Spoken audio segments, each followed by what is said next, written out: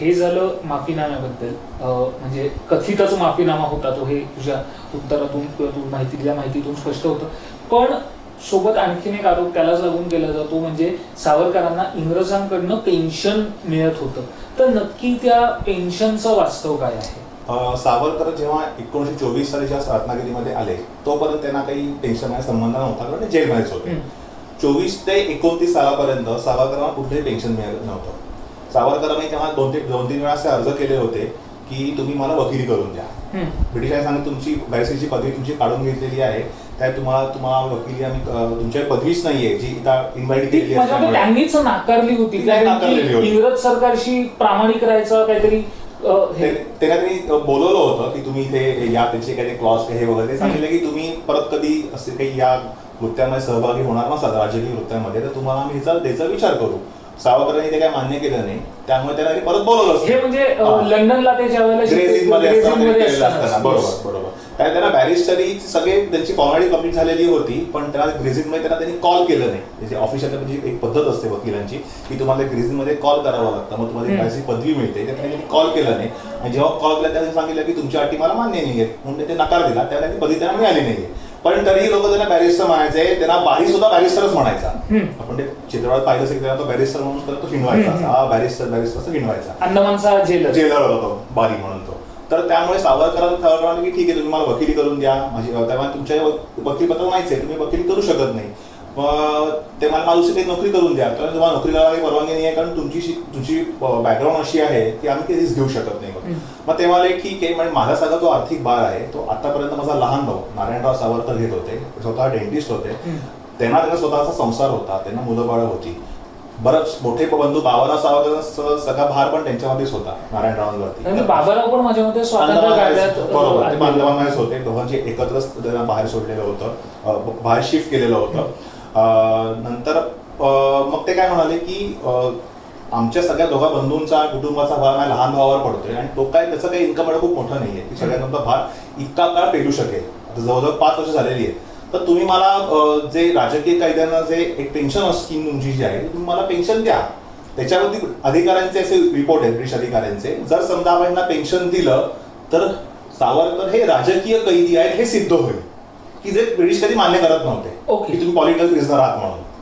तर त्यांना ती भीती होती. पण नंतर मग एकंदरीत सगळ्या ब्रिटिश काय दोन अधिकाऱ्यांनी सगळा विचार केला आणि ते म्हणाले की सावरकर सोडता जे जे क्रांतिकारक होते त्या सगळ्या बहुतांश क्रांतिकारकांना आपण पेन्शन देतोय. ते पेन्शन साधारणतः दीडशे रुपये अप्रॉक्सिमेटली ॲव्हरेज दीडशे रुपये होतं. प्लस त्यांना काहीतरी भत्ता पण मिळायचा त्याच्यावरती. कपडा भत्ता राहायचा भत्ता असा कुटुंबाचा भत्ता असेल. साधारण टोटल ॲव्हरेज झालं साधारण दीडशे रुपये त्यांना मिळायचे. आणि प्लस त्यांना वर्षात त्यांना शंभर रुपये काहीतरी भत्ता मिळायचा. तर आपण सगळ्या इतर लोकांना देतोय तर सावरकरांना मला वाटत नाही की द्यायला काय हरकत आहे. तर सावरकरांनी सांगितलं होतं की आता मी आहे माझी पत्नी आहे मला दोन मुलं आहेत माझ्या घरी दोन नोकर आहेत. कारण आमचं तर वय झाले त्यामुळे आम्हाला घरातली कामं काही जमत नाही आमच्याकडे खूप पाहुणारी येणीजाणी वगैरे असतात. तर त्यामुळे मग हा सगळ्याचा भार सांभाळणं मला काही शक्य नाहीये. मग ती सगळी त्यांनी चौकशी केली ब्रिटिशांनी की यांना किती खर्च येतो. त्यांना असं कळलं की साधारण त्यांना शंभर शंभर ते सव्वाशे रुपये खर्च येतो साधारणतः. मग ते सांगितलं की दीडशे रुपयावर आपण शंभर रुपये देऊ. मग दुसऱ्या आधी त्यावेळेला काय शंभरची करत नाही पण यांना पंच्याहत्तर रुपये देऊ. आणि असं करता करता शेवटी फायनल ठरलं की यांना साठ रुपये देऊ. म्हणजे जे इतर क्रांतिकारकांना दीडशे रुपये ऑफिशियली सावरकर देत होते देत होत सरकार देत होतं ते सावरकरांना जवळजवळ पन्नास टक्क्याहून कमी मिळत होतं. त्यामुळे सावरकर असं म्हणतं जी थिंकिंग असं सावरकरांचं होतं की समजा ब्रिटिशांच्या पैशांनी त्यांच्या पैसा घेऊनच समजा त्यांच्या विरोधी मी कृती समजा करत असेल तर काय हरकत आहे? म्हणजे. शत्रू आपल्याला जसा दारू गोळा देऊन सांगतोय की तुम्ही आमच्यावर गोळ्या झाडा. ब्रिटिशांचा पैसाही भारतात लुटलेलाच होता बहुतांश. त्याच्यात तोच लॉजिक होतं की हा सगळा पैसा ते आपल्या ते ठीक आहे. पण ही सगळी लूट ही आपल्याच समाज लोकांना त्यांनी लुटून सगळं मिळवलेलं आहे. त्यामुळे त्यांच्याकडे म्हणजे काही चुकीचं काही नाही याच्यामध्ये नाही आहे. हा देशाचाच पैसा आहे. फक्त सध्या त्याचं ते कोणाच्या हातामध्ये आहे तर तो त्यांच्या हातामध्ये आहे. आणि सगळं शत्रू आपल्याला म्हणा सांगायचं की बा ठीक आहे तू तूच प- पैसे घे तू ते दारूला विकत घे आणि तो दारूला तो आमच्यावरती विरुद्ध वापर. तर त्यात काही चूक आहे असं मला वाटत नाहीये. शत्रूच्याच पैशाने या शत्रूच्या विरुद्ध कारवाया करण्यासाठी आपण समजा एखादा कुठला दारूला विकत घेऊन त्यांच्या विरुद्ध आपण वापरला तर ती ही खूप मोठी नीती असते एक प्रकार युद्धनीती. आणि. सावरकरांनी केलं रत्नागिरीमध्ये असताना. सावरकरांनी छुप्या रीतीने का होईना पण सावरकरांनी त्यांच्यासोबत सवंगडी किंवा त्यांचे काय काय लोक त्यांना भेटायला गेले. सगळ्यांना ते इन्फ्लुएन्स करायचे.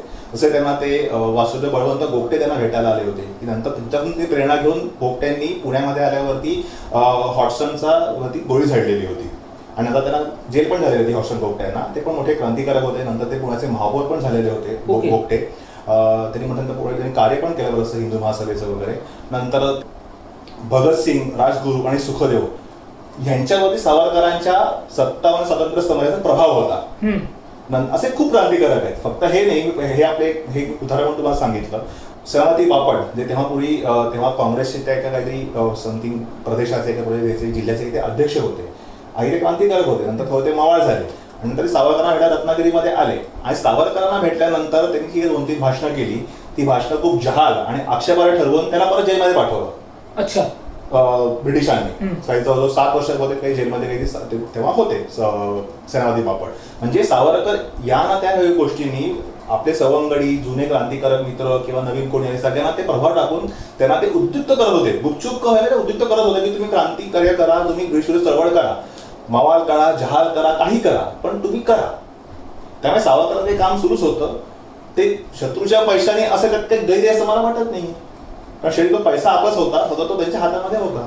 आणि स्वतः सावरकर नाकारलेला नाहीये. तो सावरकर सावरकर सावरकर बाजाराचे जे लेखक आहेत चरित्रकार आहेत त्यांनी पण सगळ्यात स्पष्ट उल्लेख केलेलाच आहे की हो सावरकरांची मागणी केली होती मग त्याला तो त्यांचा रिपोर्ट आला मग त्यांना एवढं टेन्शन सुरू झालं. त्यामुळे म्हणजे. निर्माण केलं होतं की फक्त सावरकरच होते रे ज्यांना पेन्शन मिळायचं वगैरे तर असं काही नाही. की. ब्रिटिश सरकारचीच योजना होती त्या. अंतर्गत सगळ्याच क्रांतिकारकांना पेन्शन मिळत होते. असे सरकारकडनं. सावरकर फक्त त्यातले एक होते. आणि त्यांना उशिरा मिळालं. उशिरा कमी मिळालं. काही काही क्रांतिकारांना नसेल मिळत काही काही अप्लाय केलं नसेल काही काही नसतील ते पण बहुतांश क्रांतिकार मोस्ट ऑफ द क्रांतिकारांना ते मिळत होतं. ओके. याचा सगळ्याचा आणि उल्लेख सतत ब्रिटिशांनीच करून ठेवलेला आहे.